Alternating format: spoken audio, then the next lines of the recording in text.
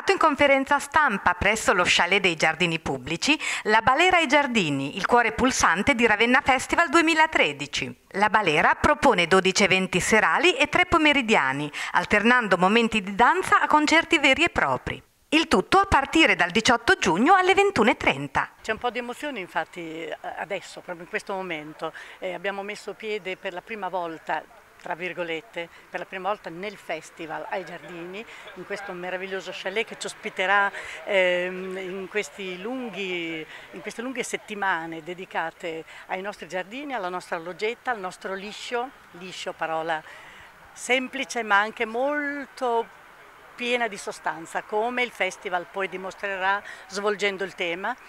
e, e, e in, stiamo pressando la famosa balera che ha incuriosito, speriamo di non deludere, tutto il nostro pubblico ravennate e non ravennate, per cui ecco, ci sarà questo bel contrasto della popolarità eh, di fronte all'eleganza massima della loggetta lombardesca che poi raccoglie un museo straordinario, quindi direi che è proprio un esempio di com'è la nostra Ravenna, che rimane popolare, con delle grandi radici e nello stesso tempo elegante, con una grande storia, un grande passato e non soltanto bizantino bizantino ma anche medievale e quindi siamo proprio dentro la cittadella, nel cuore della cittadella, di fronte a un apparato elegantissimo, colto, ma con un, eh, con un tema talmente popolare, talmente appartenente a tutti quanti e coinvolgente che ci, ci appassiona, quest'anno come non mai. Balere Giardini è una,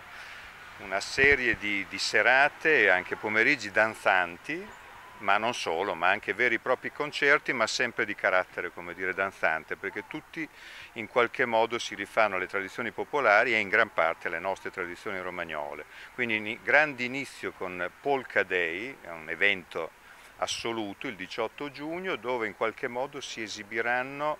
grande, la grande orchestra della Romagna con ospiti i frontman, cioè i, la linea eh, clarinetto, sassofono, ma anche cantanti come Luana Babini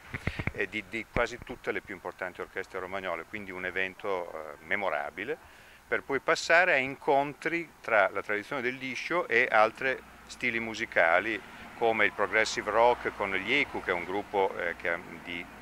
eh, è un gruppo in qualche modo dove ha, eh, utilizza la canzone d'autore ma ha, come tanti musicisti eh, sente le proprie radici nel, nel, nel, nel, liscio, nella musica romagnola, oppure un grande artista che ha collaborato con, eh, Mauro, con, eh, con De André come Riccardo Tesi, con Banda Italiana, che incontra una grande fanfara di matrimoni e funerali di Tirana, albanese, la fanfara tirana, per un incontro tra la tradizione balcanica e il nostro liscio. Poi per chi non conosce la grande tradizione del ballo alla Filuzzi, che è il liscio bolognese, con eh, un, eh, esistono, non molti sanno che esiste anche la polka chinata, che è una polka eh, ballata da una coppia di uomini, fatta estremamente atletica, che è qualcosa tra i dervisci roteanti e il ballo romagnolo. E poi, eh, inutile dire ancora, eh, Trovesi e Cosce, due dei più importanti jazzisti italiani, una grande voce di Rai Radio 3, Michele Suozzo, il conduttore della Barcaccia, che ci introdurrà e ci condurrà nei meandri del ballabili nelle opere verdiane, accompagnato dalle, eh, dalle, dalle mm, Ocarine di Budrio, un grande, una grande rockstar della Romagna, bluesman come Vince Vallicelli, con un progetto con orchestra d'archi e poi tante altre cose. Per, eh, poi ecco, per la danza ancora eh, oltre al Polka Day dove si potrà ballare così come ispirandosi in qualche modo non si uccidono così anche i cavalli,